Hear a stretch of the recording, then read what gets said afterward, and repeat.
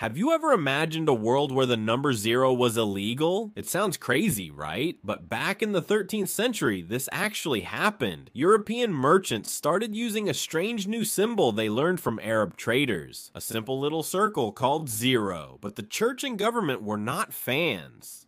They claimed zero represented nothingness, the void, and even associated it with the devil. Things got so heated that in 1299, the city of Florence officially banned zero from all records and trade documents. They were convinced that crafty merchants could use it to hide debts or secretly move money.